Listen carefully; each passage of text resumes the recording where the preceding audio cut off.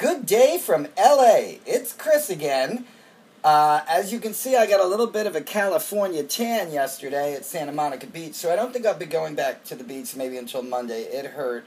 Uh, also, the bus ride home was extremely painful. I really almost peed my pants. I can't remember when I had to go to the bathroom so bad. Always pee before you get on the bus, even if you don't have to go. Today I'm checking out Silver Lake. It's a gay community in Los Angeles, supposed to be really nice. I'm going to Uber it there because I'm a little over the bus right now. And tonight I hope to get into the Laugh Factory or the candy store, uh, the comedy clubs here in LA.